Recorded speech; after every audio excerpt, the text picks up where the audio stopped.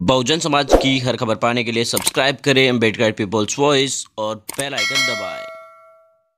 और फ्रेंड्स, मैं नरुतराम रोलियर आप देखना शुरू कर चुके हैं बेटघाट पीपल्स वॉइस उत्तर प्रदेश के साथ साथ पूरे देश भर के अंदर आपको बता दें कि अलग अलग राज्यों में हो रहे चुनावों में काफ़ी ज़्यादा नज़रें बनी हुई है। खास तौर से इसलिए कि किसान आंदोलन लगातार देश भर में जारी है और इन किसान आंदोलन का भारतीय जनता पार्टी पर कितना असर पड़ता है, ये देखना के लिए हर छोटे से छोटे चुनाव के ऊपर नज़र पकड़ी जा रही है। चाहे वो जिला पंचायत के हो या प्रधानी के हो, चाहे ग्राम पंचायत के हो, किसी भी प्रकार के चुनाव के नतीजे आते हैं तो उसमें काफ़ी नज़र रख जा रही है। वर्तमान में आपको बता दें कि आज की तारीख के अंदर गुजरात के नगर तालुका, जिला पंचायत और नगर पालिका के चुनाव के नतीजे सामने आए।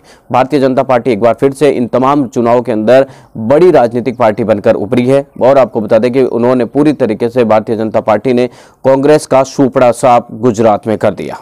और आपको बता दें कि कई सीटों पर आम आदमी पार्टी ने भी कांग्रेस पार्टी का जो है, एक तरीके उनको पार्टी से बाहर करवा दिया। कांग्रेस पार्टी को जनता से बीच में उससे बाहर करवा दिया। असमुद्दीन ओवैसी की पार्टी ने भी अच्छा खासा प्रदर्शन किया इसी बीच हम देखने की कोशिश करें तो आज आए नतीजों में बहुजन समाज पार्टी कहाँ पर खड़ी है?